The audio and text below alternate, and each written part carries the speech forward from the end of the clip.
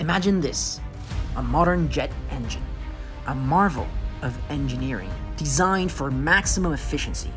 But beneath its sleek exterior, an invisible challenge lurks, one that can prevent it from starting at all. It's called the bowed rotor phenomenon, a problem that's becoming more and more common as manufacturers push engines to their limits.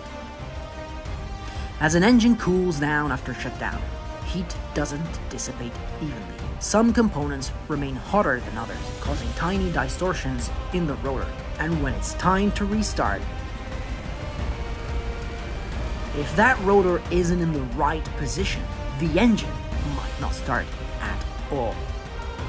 In this video, we'll explore how jet engines start and the methods engineers have developed to overcome bowed rotors.